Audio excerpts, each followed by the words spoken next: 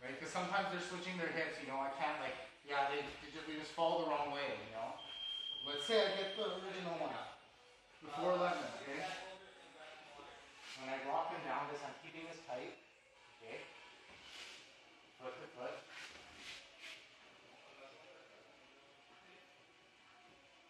Right, I rock him over like this initially, right away.